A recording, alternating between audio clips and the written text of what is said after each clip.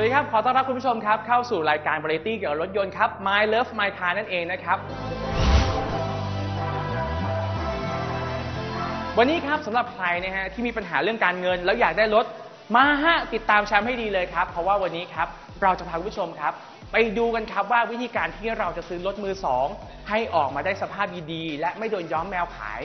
เราจะไปดูกันยังไงบ้าง และมีวิธีการยังไงนะครับที่เราจะไปดูรถแบบนั้นนะครับผมรวมทั้ง ช่วงที่ 3 นะครับ เราจะพาคุณผู้ชมครับ ตามติดชีวิตคนใช้ Hilux Revo กันครับ ว่าวันนี้เขามีไลฟ์สไตล์ในการใช้รถ Hilux Revo ยังไงบ้าง เบรกที่ 4 เหมือนเดิมสำหรับหนุ่มๆ คนไหนห้ามพลาดเลยทีเดียว วันนี้จะมีสาวเซ็กซี่คนไหนมาติดตามชมได้นะครับ แต่ตอนนี้ขอบคุณพี่ใหญ่ใจดีของเราด้วยนะครับสำหรับ Hilux Revo ครับผมเบิร์บมันฟินเวอร์ Major Cineplex ครับ สมุนไพรสบายพุง และสุดท้ายนะครับผมกับ Force Big b r a k ครับ แต่ตอนนี้ไปรับชมตัวอย่างรายการก่อนเลย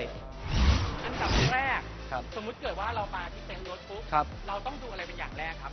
แรกแรกๆเริ่มเบื้องต้นเลยเนี่ยรถยนต์เราก็ใส่ใจที่ในเรื่องของห้องเครื่อง แล้วก็ตัวถังก่อนเลยของรถยนต์เคองกับตัวถังใช่ครับนะดูยังไงครับพี่ครับอันครันี้บถือว่าเป็นไฮไลท์ของร้านเลยทีเดียวใช่ครับนะครับกับ Lamborghini นั่นเองครับ แม้กระทั่งแค่ฟิล์มแลบรถเนี่ยก็ราคาเป็นแสนนะครับ ระบบช่วงล่างมั่นใจครับ เพราะว่า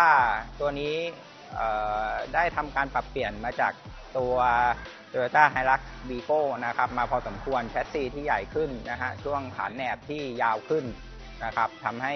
ทำให้เกาะถนนเพิ่มมากขึ้น เรื่องสมรรถนะเรื่องเครื่องยนต์ แล้วก็เรื่องช่วงล่างที่ดีจริง ๆ ผมใช้แล้วยืนยันครับว่าดี Hilux Vivo ผมประทับใจครับ แล้วคิดว่าในตัวของเราเองเนี่ย ส่วนไหนเซ็กซี่ที่สุด ส่วนไหนเซ็กซี่ที่สุดก็เซ็กซี่ทุกส่วนนะคะ นี่ไง นี่ไง จะบอกเลยว่า